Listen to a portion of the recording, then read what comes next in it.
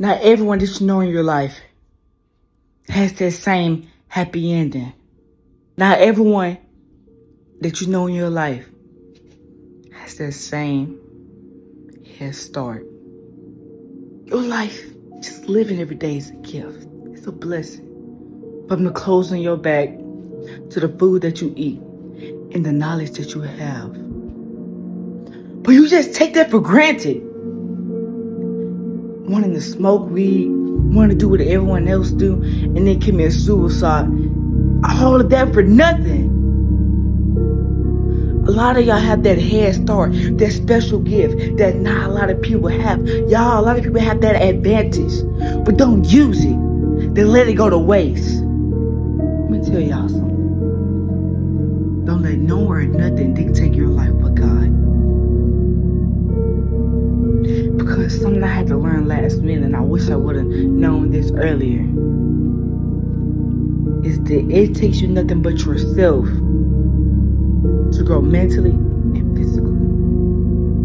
I used to be in a weak mindset. Last year was the first year I understood that I could do whatever I want as long as I put my mind to it and keep myself encouraged. Because at the end of the day, it's gonna only be two people left, and that's you and God.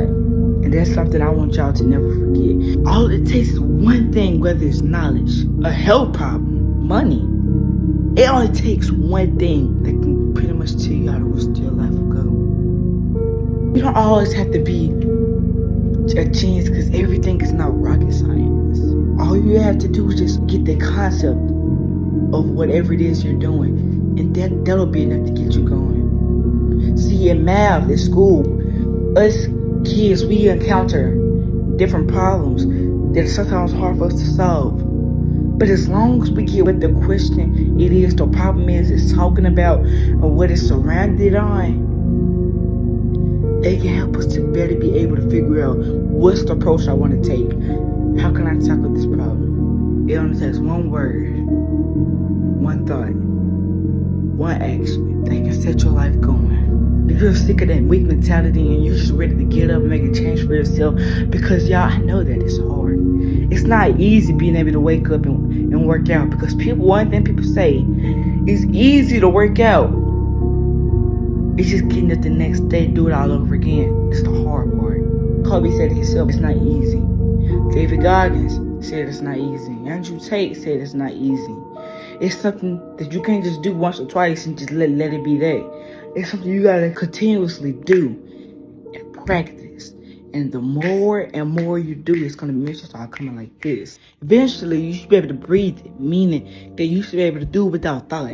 All it takes for you to just just get up and just tell yourself, I'm done being fat. You feel like you're fat. I'm done being fat. I'm gonna fine to make a change for myself. I'm done being getting the lowest grade in my class. I'm gonna start studying harder. All it takes you to do that and just keep yourself encouraged while you're doing it. Because it's something about working out and getting things done by yourself. It's fine with friends and stuff, but the, more I work with people, I learned that there's there's a distraction holding me back from my potential. It's just time for y'all to just go ahead and just get up. Make a change for y'all self. Because one thing I learned, if you see a problem in the world, the first way is to solve it. it is to face the truth. And I hate, I hate kind of using that as an example, but it's a problem that many people have. A lot of people can't accept that they're fat. A lot of people cannot just accept it. And David Goggins man was talking about it. He said it's sad how you can't even point that out to nobody, not in a disrespectful way. And that's why when people see me and I know you, you're you're in my little foxhole. If you're in my foxhole and you become a piece of shit, hey, come here, brother. Let me talk to you real quick, brother. People don't like that, shit, man. But I'm not going to allow you to go to a place that's going to be hard to get out of. Where this world is now, you can't say a motherfucking thing. I do. I still do, and I always will. Don't like me. Don't like me. I'm good with that. Somebody so you're fat. I don't let that just hurt me, hurt my heart. It used to. But I use that stuff. Not, don't see it as negative comment, even as what it is.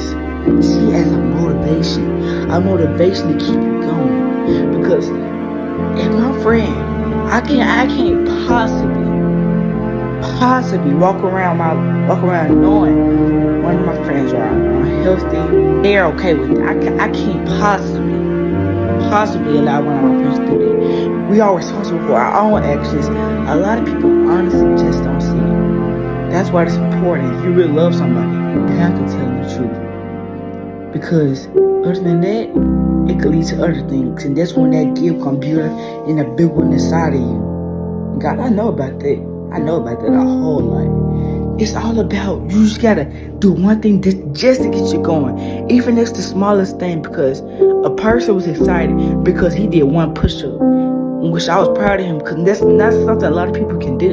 No matter what it is, you should always congratulate somebody for doing something right because you don't know how big of an accomplishment something is to someone until you are in the same shoes as them. That's why I'm the type of person that likes to have perspective.